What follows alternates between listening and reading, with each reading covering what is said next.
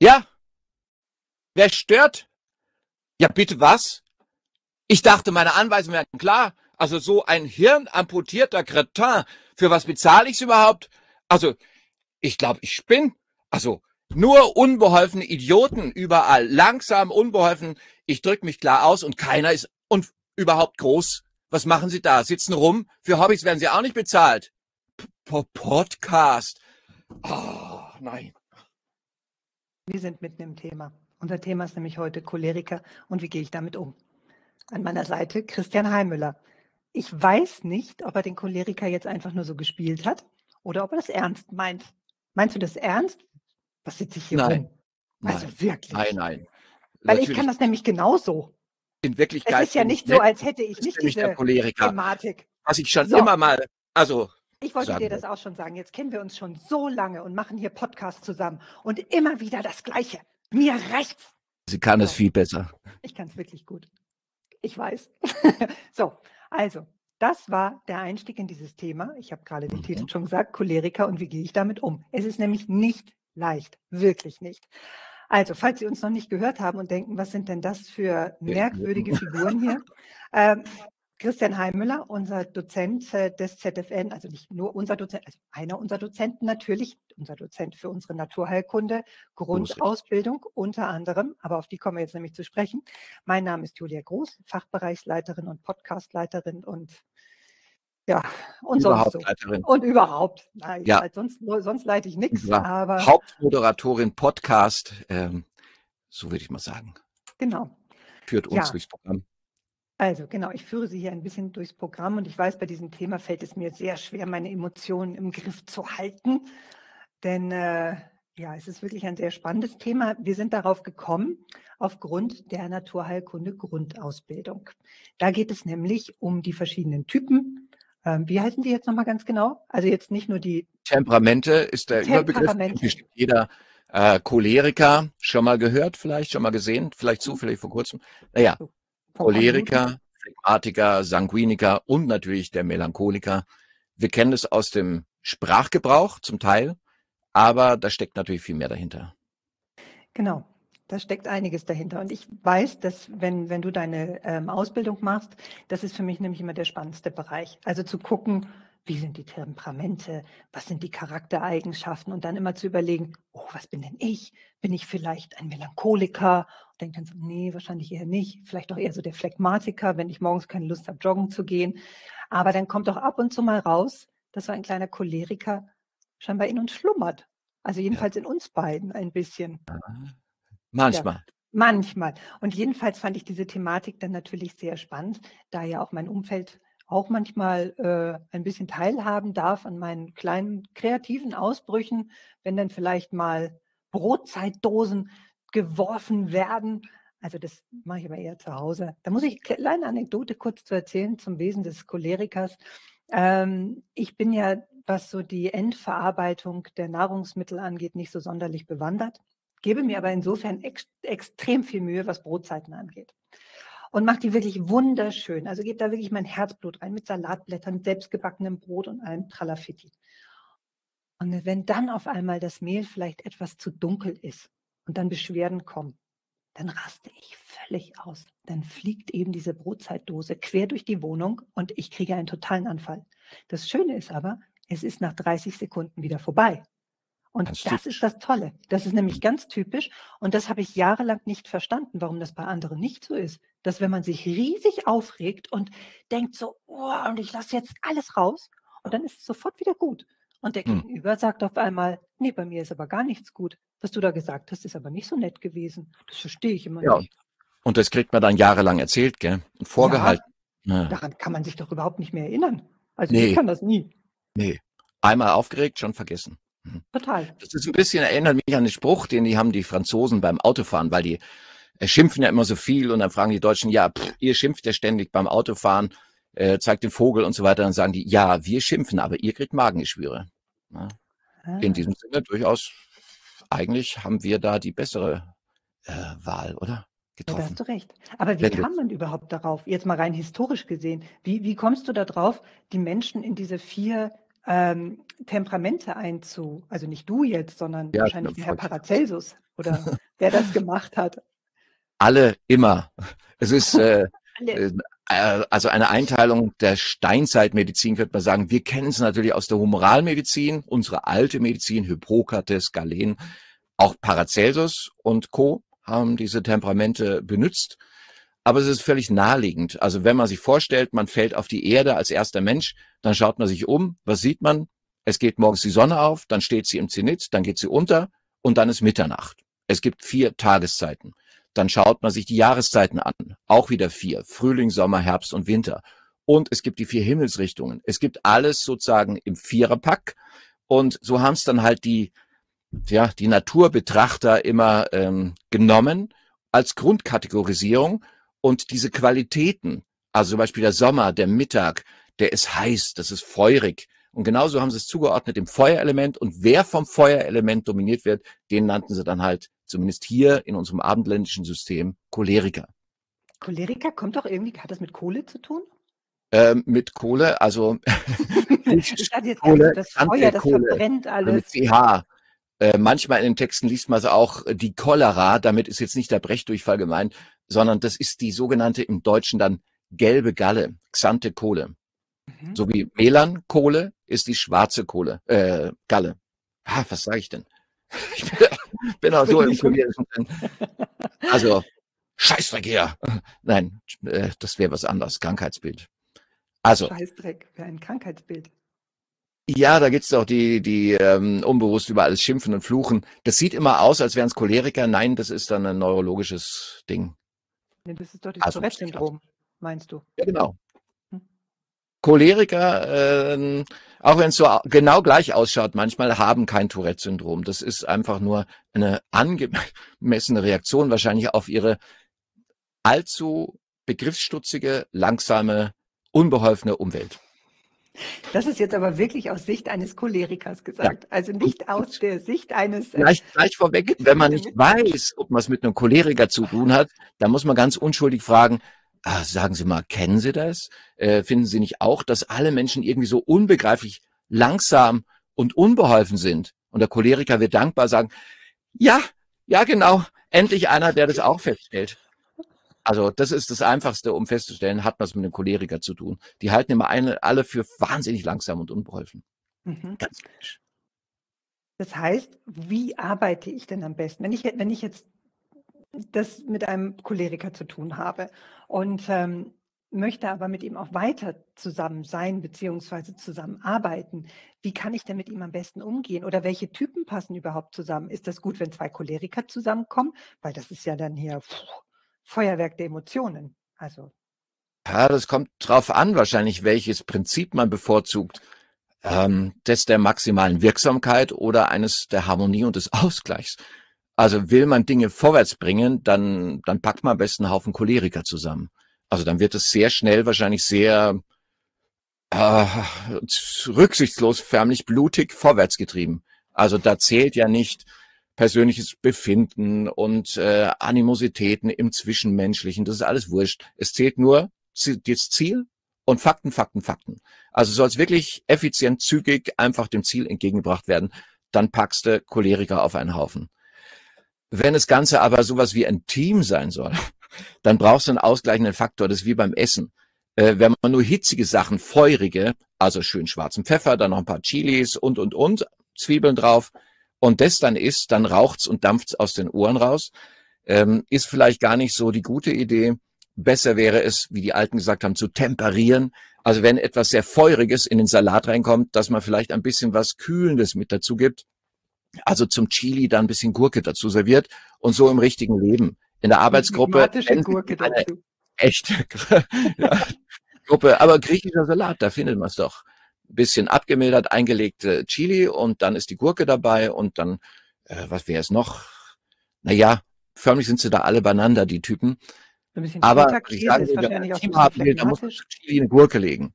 Das heißt, dann nicht Choleriker aufeinander packen, das ist zu extrem. Also in Ausnahmesituationen vielleicht nützlich, aber im Allgemeinen schlecht. Es Mhm. geht im Leben, wie vor allem eben in der Harmonie, äh, Medizin, immer um das Gleichgewicht, die Harmonie, den Ausgleich. Und insofern hat man einen Choleriker, wäre es nicht schlecht, einen Phlegmatiker draufzupacken. Da wird sich zwar jeder immer und ständig über den anderen mokieren und aufregen, weil die sich erstmal nicht so richtig verstehen, unterschiedliche Gangarten haben, aber sich gegenseitig mäßigen, dass also kein Extrem dabei entsteht. Ähm, so wäre es wahrscheinlich in dem der dieser Konstellation das Geschickteste. Ich stelle mir das Wobei man sagen muss, wahrscheinlich ein Choleriker und da brauchst du wahrscheinlich drei Phlegmatiker als Gegengewicht. Ich glaube, so das kommt ja auch mal auf die Maße an, oder? Weil ich, du hast ja immer gesagt, es gibt eigentlich ganz wenig Reinformen. Also jetzt ja. so den reinen Choleriker. Bei uns. Hm? Bei uns, bei uns zumindest. Da gibt es ganz Aha. wenige reine Choleriker. Ähm, wenn man sich überlegt, man würde jetzt nach Neapel oder Sizilien fahren, äh, da, da kommen wir alle an als Superphlegmatiker im Vergleich. Schon normales Gespräch unter Eheleuten, das wirkt auf uns wie, wie Blutfede. Die sind von Natur aus so ein bisschen hitziger, allesamt, sind ja auch mehr im Süden, äh, insofern Choleriker. Also dort findet man auf jeden Fall sehr viel mehr Choleriker. Also, das ist so ein bisschen auch landschaftsbezogen, Klima, Ernährung, was weiß ich. Bei uns sind tatsächlich auffallend viele Phlegmatiker. Das heißt, die Phlegmatiker könnte ich jetzt so ein bisschen befeuern und in die Richtung cholerisch bringen, wenn ich sie auch mit scharfem Essen zum Beispiel etwas stimuliere. Das heißt, die ja. den, die Chili ohne die Gurke und dann ein bisschen Pfeffer im Hintern im wahrsten Sinne ja, genau. des Wortes. Genau so. Hat man früher Diätetik genannt, die Lehre von der Lebensführung. Da ging es halt um Schlafen, Wachen, Bewegen, Ruhen und, und, und bis hin zur Ernährung. Und wenn einer vom Wasserelement-Prinzip zu sehr dominiert wird, so dass er eben wenig dynamisch feurig ist, also Phlegmatiker sind Wasserelement dominiert, dann müssen wir halt dem vielen an Wasser ein feuriges entgegensetzen. Und das ist die Ernährung, dass wir halt also nicht zu sehr Sahnesöschen und äh, phlegmatische Nahrung ihm anbieten, sondern eben die hitzigen Sachen zum Beispiel. Hitzig, also so wie beim Schubeck, das war ein Ingwer reintun, äh, das gibt dann Pfiff. Ja, so. Und außerdem nicht nur bei der Ernährung, auch beim bei der Lebensführung. Also zum Beispiel mehr Sport. Sport ist Dynamik, Bewegung ist feurig. Also schlafen, ruhen, befeuchtet, macht phlegmatisch, Bewegung macht feuriger. Das heißt, wenn ich jetzt als Choleriker, wenn ich einer wäre, was ich ja nicht bin, also jedenfalls nicht so schlimm, hoffe ich, ähm, dann wäre es doch eigentlich gut, ich würde jetzt schöne Sahnesoßen essen, ich würde mich nicht so viel bewegen, also joggen sollte ich mal lieber lassen, schön früh ins Bett gehen, bisschen Fernsehen. Und dann werde ich, glaube ich, deutlich entspannter. Also wenn ich jetzt, oder wenn ich es jetzt mit einem wirklichen Choleriker zu tun hätte, ich stelle mir jetzt vor, ich hätte einen Partner, der ist Choleriker, wie kriege ich den jetzt ein bisschen entspannter, dass er vielleicht auf mein entspanntes Niveau runtersinkt? Kann ich mir was ja. kochen? Ja, leckeres Kochen ist immer gut. Aber äh, ganz so einfach ist es nicht. Hm, wenn man sich vorstellen will, wie ein Choleriker vielleicht ist, also vom Typ her, da muss man sich in die Steinzeit zurückversetzen und sich vorstellen, so ein Neandertaler. Der legt nicht viel Wert auf, auf so das Drumrum, auf Smalltalk. Also ich war jetzt nicht dabei, aber so stelle ich es mir vor, sondern Essen, Essen jagen und, und die wichtigen Sachen im Leben so Kunst, Kultur und ähm, das zwischenmenschliche Gedöns. Das braucht man alles nicht. Es geht um den Mammut, da vorne steht er und dann gibt's schön Mammuthaxe am Abend. Also diese Ausrichtung. Effizient, es geht um Ernährung, es geht um ganz rudimentäre, archaische Dinge. Und so ist ein Choleriker konzipiert, als hätten wir ihn an den Haaren aus irgendeiner Steinzeithöhle rausgeschleift. Insofern, wenn man einen Choleriker dann verführt zu mehr Genuss, zu mehr Ruhe, dann mag er ruhiger werden, aber er wird unzufriedener, weil dafür ist er nicht gebaut. Mhm. Ein Choleriker ist gemacht für Jagd und Bewegung und was weiß ich was. Wenn man einen Choleriker am Schreibtisch festtackert, dann degeneriert er und dann wird er frustriert und dann ist er kein Choleriker mehr. Dann wird er zum griesgrämigen Melancholiker. Also mhm. ganz einfach ist es nicht. Also ihn einfach runterbremsen funktioniert nicht. Ein normaler Choleriker, der muss rumzappeln. Der ist, weil Feuer äh, ist Dynamik. Der muss was tun. Der ist für Bewegung gemacht. Also schon Sport, Bewegung, Joggen, ja, aber eben nicht im Übermaß. Mhm. Und vom Essen her, da kann man halt was reinschummeln, was tatsächlich viel phlegmatisiert. und bei der Lebensführung auch darauf achten, dass halt das Extreme wegfällt. Jedes Temperament neigt dazu, seine Eigenarten noch weiter zu übersteigern. Ein Phlegmatiker, der legt sich halt gern aufs Sofa und isst Chips äh, und wird immer phlegmatischer dabei. Ein Choleriker, der arbeitet nur, schläft gar nicht, trinkt Kaffee und, und, und. Also erhitzt sich immer weiter bis zum Exzess. Da muss man einhaken, die Extreme verhindern. Das heißt, nicht zu viel Sport, kein Extremsport ohne Pause und nicht nur Kaffee und überhaupt gar nicht mehr essen und nur noch arbeiten. Also man muss sie ein bisschen ködern. Das ist ja wie immer. Äh, mit Speck äh, fängt man Mäuse. Und so muss man sagen, ha, lieber ehrgeiziger Choleriker, weil sie sind alle ehrgeizig, äh, es gibt da was, das ist gar nicht so einfach. Zum Beispiel Bogenschießen bei, also da, jetzt nicht das olympische Bogenschießen, sondern eher so diese, diese orientalische Zen-Abteilung, also japanisch vielleicht oder irgendwas, dass man sagt, es ist nämlich eine schwierige und herausfordernde Angelegenheit, was gar nicht jeder hinkriegt, dass man beim Bogenschießen spannt und da, wo man unter der maximalen Anspannung steht, das gefällt dem Choleriker, maximale Anspannung, Mammuts überall, dass man in diesem Augenblick vollkommen ruhig wird. Also auf die Art und Weise, dass man ihnen was bietet, was ihrer Eigenart gerecht wird und wo sie trotzdem innerhalb dessen lernen können, ruhig brauner. Also dieses Anspannen und dann aber komplett ruhig werden. Das ist wie beim Biathlon. Yoga und autogenem Training, da kriegt man sie nicht. Die drehen durch. Oder? Ja. Kennst du selbst. Ja, also Yoga ist für mich wirklich eine, eine äh, Katastrophe. Also wenn ich das da rumliegen muss. Yoga, das müsste man mal erfinden. Äh, in Kolumbien gibt es Speed Salsa und das als Yoga. Das, ah, das ging. Das wäre bestimmt schön. Ich weiß nicht. Ja. Speed Salsa wäre auch was. Ich glaube, das, da hätte ich auch Lust zu, aber ich kann ja nicht mal Salsa. Also dann könnte ich ja wahrscheinlich nicht mal Speed Salsa. Das lernen, ja. Ja, das stimmt. Das äh, hat man ja noch viel Zeit. Aber was mich jetzt nochmal interessieren würde, neben dem Choleriker, wenn wir jetzt davon ausgehen, wir haben jetzt verschiedene Mischformen, gibt es, so, mich würde so die Häufigkeit dieser Formen ähm, interessieren. Also was ist so eigentlich, was, was läuft bei uns am meisten rum? Am meisten, also von allen Temperamenten, laufen tatsächlich am meisten Phlegmatiker rum. Ah. Es ist jetzt nichts typisches Deutsches, aber halt so einfach in unserem Kontinentalklima mit der Ernährung und Lebensweise scheint es das zu produzieren mit dem genotypischen ähm, Bedingungskomplex dazu. Ansonsten das nächste, würde ich sagen, sind dann Sanguikoleriker. Das heißt eine Mischung zwischen Sanguiniker und Choleriker. Und es sind eigentlich auch keine echten Choleriker, denn da gibt's jetzt einen fünften Typ, der fällt aus diesem Raster raus. Ich nenne es den Tuberkulinen-Typ. Der ist eigentlich erfunden als Phlegmatiker, aber eben kein langsamer, träger, dicker Phlegmatiker, sondern dünner, zappliger und eben sanguinischer Phlegmatiker. Das heißt, der ist wie so ein Kind und neugierig und kommunikativ und reißt gern alles, was neu, bunt, abwechselnd, aufregend ist. Super.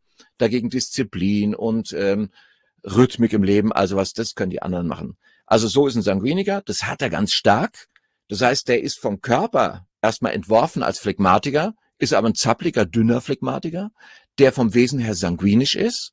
Und der bringt dann komischerweise ganz viel oftmals ähm, cholerisches auch mit sich. Galle, Pankreasprobleme, Reizbarkeit, herrisches Wesen. Also diese Choleriker, auf die trifft man hier noch am meisten. So ganz reine Choleriker, die sind wirklich selten. Mhm. Und dann, dritte Häufigkeit, würde ich sagen, sind dann die Melancholiker.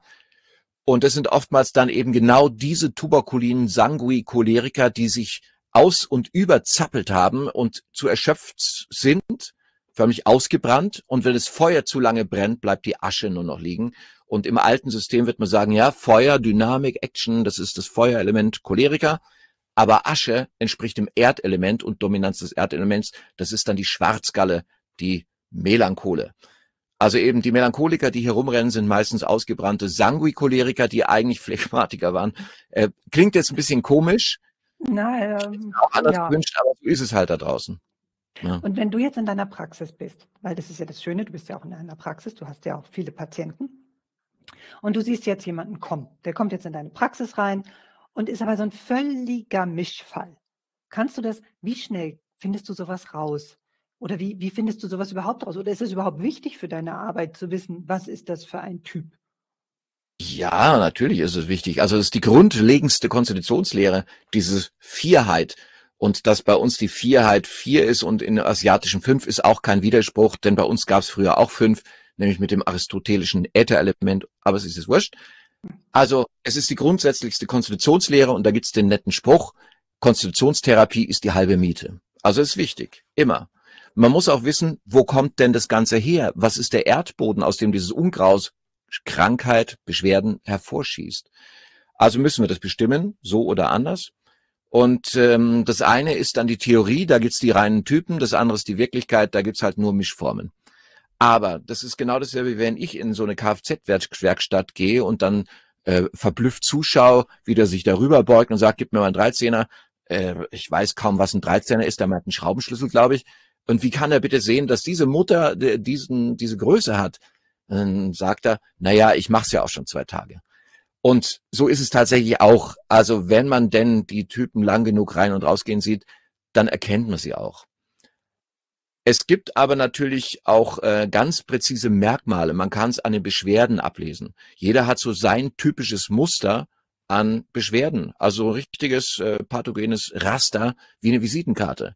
Jeder hat so seine Vorlieben, jeder hat seine Gründe, warum er in die Praxis kommt. Ein Choleriker wird nie kommen, weil er krank ist, weil wenn der krank ist, der, der hat überhaupt keine Zeit zum Kranksein. Das ist was für die Schattenparker.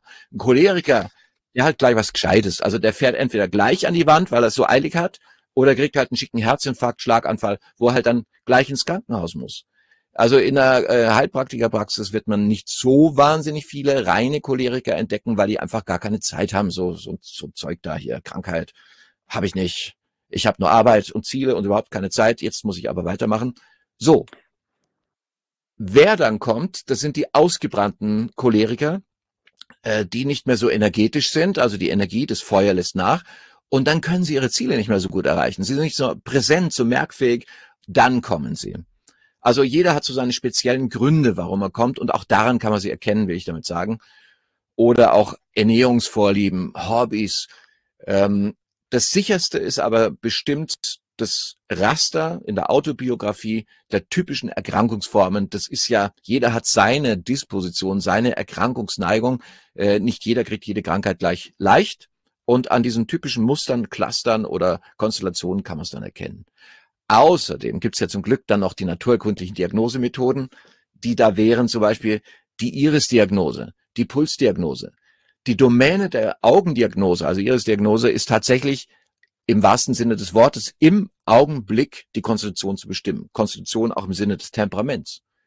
Muss dann nur noch verifiziert werden, ob das auch wirklich so lebt, weil es könnten ja durch die Lebensführung Veränderungen eingetreten sein auch am Puls.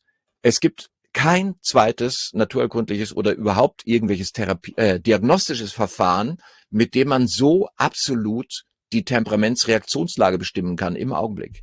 Es ist das einzige Werkzeug, was wirklich absolut die Temperamentslage darlegt. Ja, also das heißt, wir haben da ein breites Spektrum, äh, abgesehen jetzt von dem Blick für die Dinge, dem man sich dann irgendwann mal zuzieht in der Praxis. Das ist dann auch Berufskrankheit.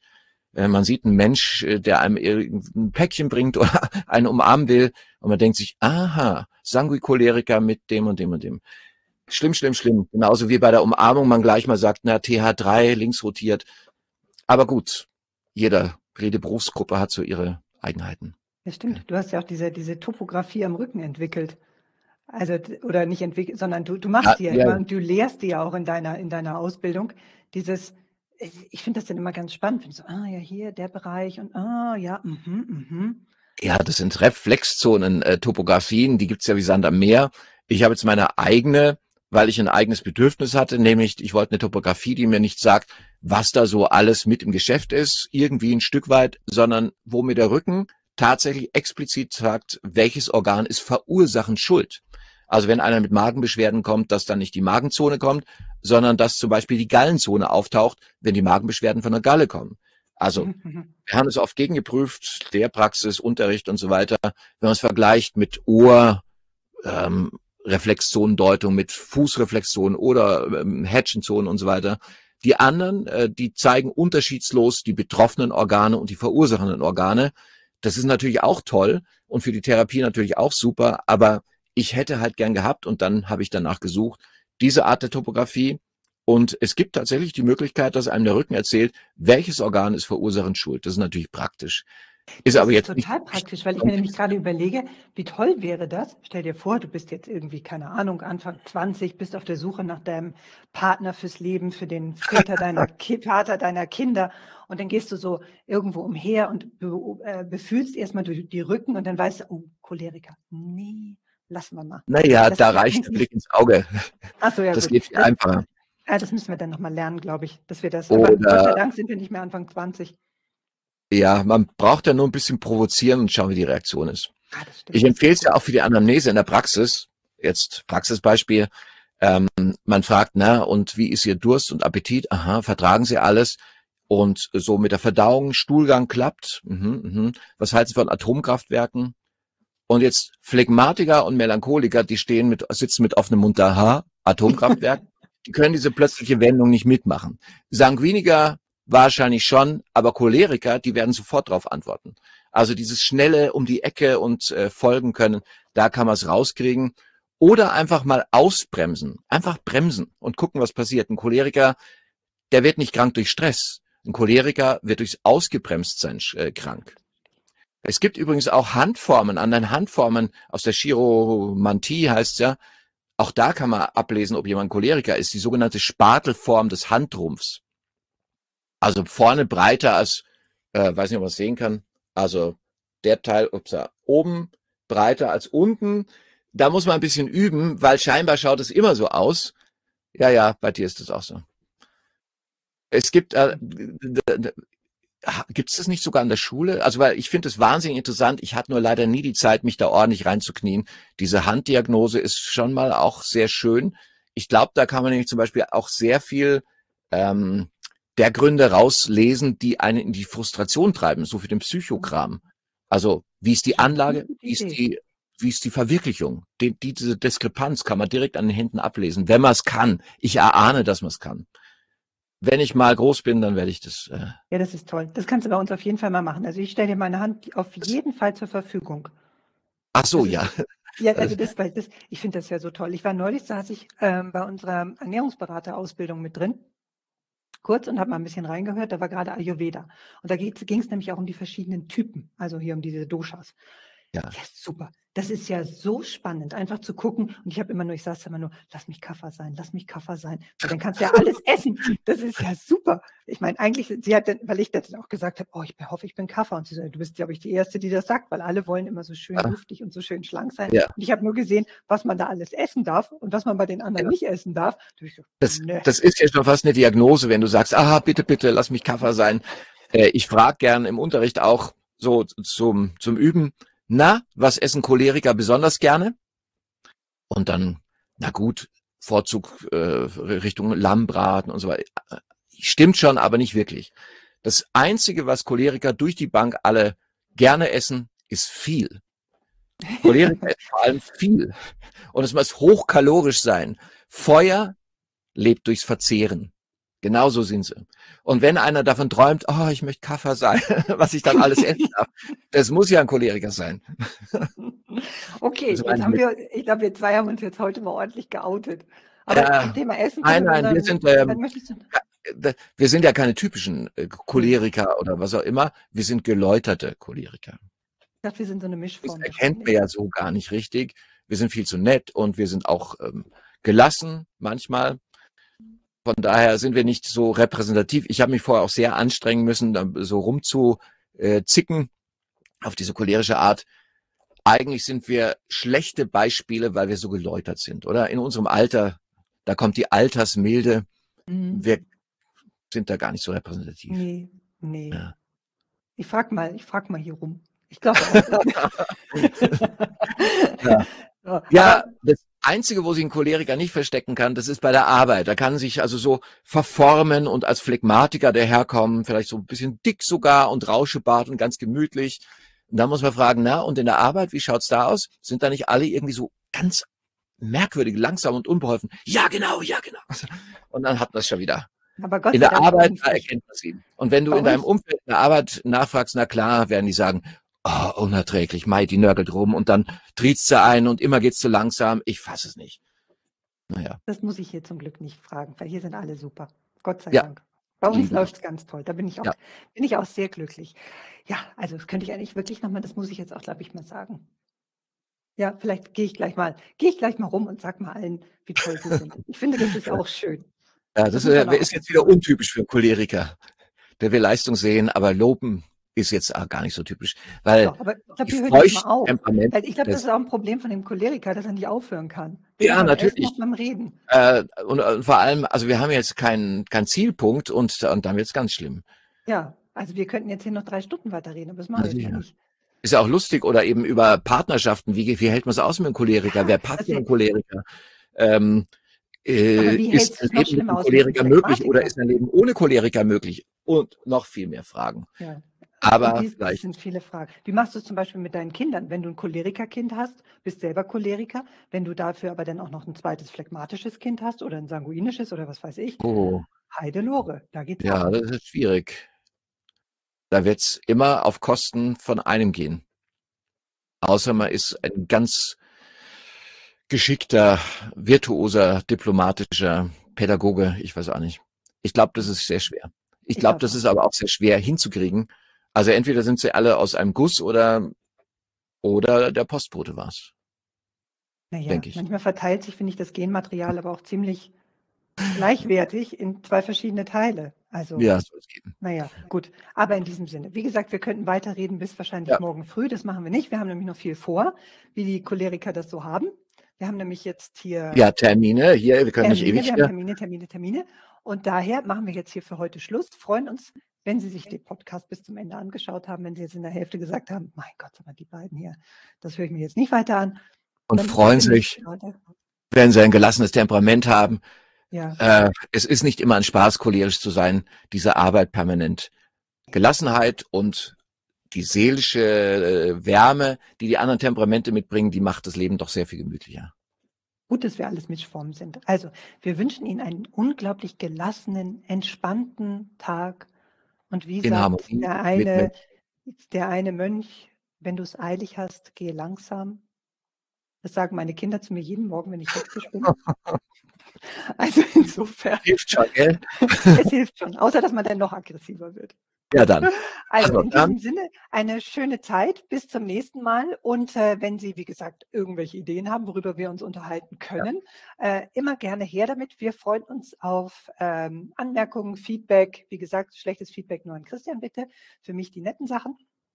Und, äh, dann, Die äh, bis die bald. Themen müssen auch nicht immer, ähm, sinnvoll sein, sie können auch, ähm, 'n bisschen absurd sein. Wir kommen mit allem klar.